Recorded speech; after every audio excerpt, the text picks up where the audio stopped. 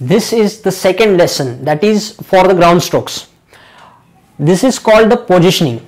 Basically, when you play a ground stroke, whether it's forehand or a backhand, it can be divided in two parts as mentioned in the previous lesson. The first is positioning, the second one is the swing. We have seen swing in the first lesson. Now in the second lesson, this is a very crucial part. This is called positioning before hitting the ball how do you position yourself before hitting the ball how do you position yourself in order to hit the ball. Okay? Now there are uh, in previous uh, chapter uh, in the serve lesson we have discussed uh, about the action that is derived through conscious thinking and action derived through subconscious thinking like walking. While walking if your left leg goes forward then your right leg uh, right hand goes forward along with your left leg and uh, if your right leg goes forward then your left hand goes uh, forward while walking. Now this is something that is derived through this action of alternate left and right hand. While walking is derived through subconscious thinking. You are not consciously thinking to put your left leg and right hand forward while walking. This is something that comes subconsciously to you. This is the action derived through subconscious thinking. That is the example of action derived through subconscious thinking. Through conscious thinking like lifting a particular object. This is the action derived through conscious thinking. Similarly swing actual swing on the ball it is derived through action is derived through subconscious thinking. Let's for example say that there is a ball on the cross court size you are running on the ball and you are hitting the ball. What happens if you move too close to the ball you will end up swinging like this. If the, if you move too close to the ball if the ball is far away you will end up swinging like this.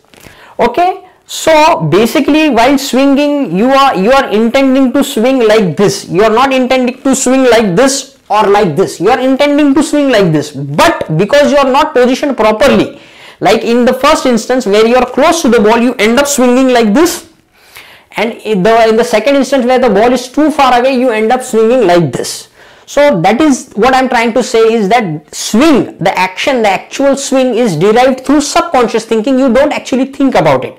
But positioning yourself, moving towards the ball, how far, how close, that is derived through conscious thinking where your actual conscious thinking is required for that particular action.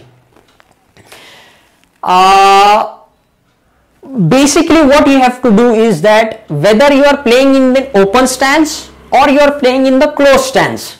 Again, make sure the ball is properly to the side of your body. Here, somewhere here.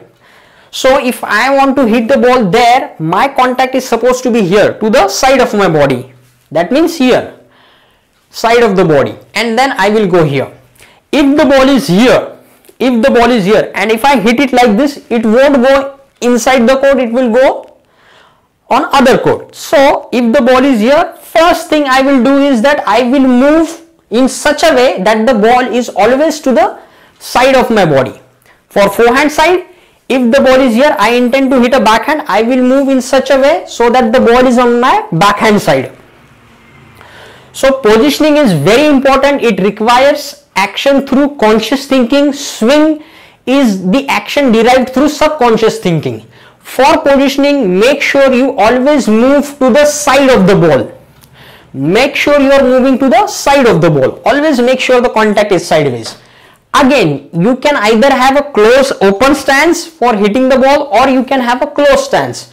Irrespective of your stance you are always moving to the side of the ball. The ball is positioned in such a way that it is to the side of your body for geometric purpose this is for, this is for where your conscious thinking is required. This is the second lesson. This is very important and very crucial that is positioning yourself. I will be sharing some videos where I will be actually hitting the ball and I will be moving uh, around the ball in such a way that the ball is always to the side of my body. Okay.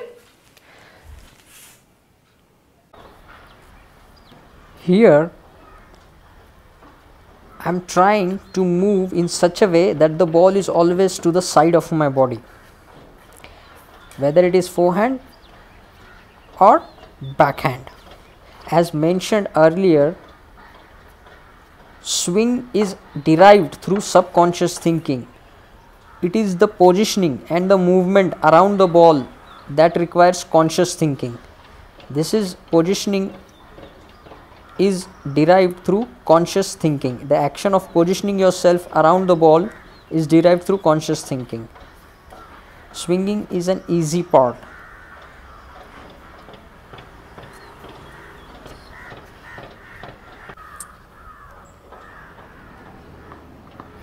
Here you can see that my sole objective of this drill is to position myself in such a way that I am always to the side of the ball. I am practicing forehand here so I am moving in such a way that the ball is on my forehand side and it is to the side of my body. Lot of YouTubers you see they talk about the backswing, the follow through and all those things. Make sure that follow through backswing and all other things they don't bother you. Don't focus on those things. Just try to position yourself in such a way that the ball is always to the side of your body. You can play open stance you can play close stance. Just make sure the ball is always to the side of your body. Okay? Things like follow through backswing and all those things they should not bother you those things are as a result of subconscious thinking. Those things that action is derived through subconscious thinking. What you can control and what you can work on is positioning yourself. The better you position the better you will be able to hit the ball. Same thing here on the backhand side. I am focused on positioning myself in such a way that the ball is to the side of my body I am not letting my backswing, my follow through bother me. Make sure the ball is to the side of my body. Here you can see the ball was inside the body so I have to modify the swing. As stated earlier, swing is derived through subconscious thinking. If the ball is in the body, you will modify the swing. In order to hit a proper shot, a proper swing, positioning yourself is imperative. So whenever you practice ground stroke the most important thing to remember and the most important thing to work on is your footwork. Play with your legs not with your hands. Position yourself properly. Work on footwork and positioning